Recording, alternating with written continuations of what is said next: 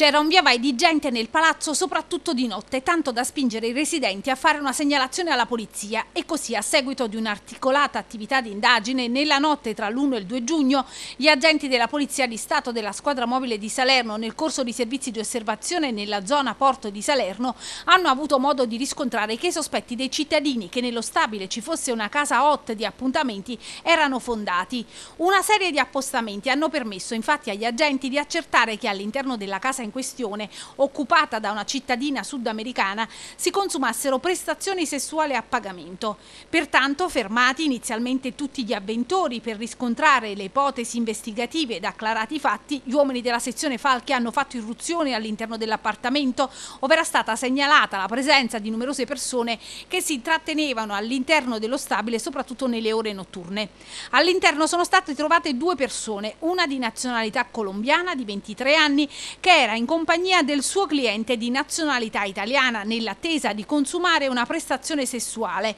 Dalla successiva perquisizione sono stati rinvenuti e sequestrati circa 250 preservativi, flaconcini di gel massage, oltre ad una somma di denaro provento dell'attività posta in essere dalla cittadina colombiana. Con la raccolta di elementi a sostegno dell'ipotesi investigativa, l'appartamento è stato posto sotto sequestro con l'apposizione di sigilli e messa a disposizione dell'autorità giudiziaria in attesa di ulteriori provvedimenti a carico dei responsabili.